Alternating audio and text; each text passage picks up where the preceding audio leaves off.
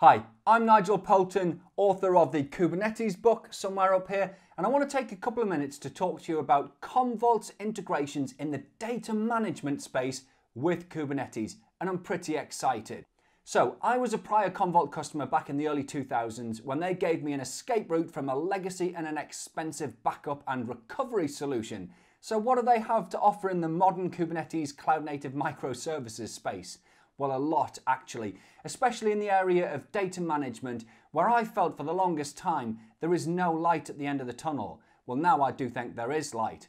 Anyway, so Commvault have a Kubernetes native storage solution which builds on top of their pretty decent, to be perfectly honest, CSI driver. So not only does it offer dynamic provisioning of volumes on the back end and it provisions the PVs and the likes on the Kubernetes cluster, but it also supports raw block volumes in Kubernetes, dynamic volume expansion, and snaps. So a great CSI driver implementation.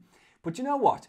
That's only the start. They also have custom resources in Kubernetes that implement and integrate all of their advanced data management features so that they look, smell, and feel like Kubernetes native objects.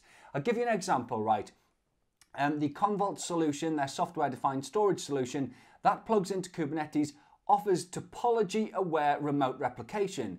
And through the implementation of custom resources on the Kubernetes cluster, those or that topology aware remote replication feels like it's directly baked into core Kubernetes. So they've done a great job there as well.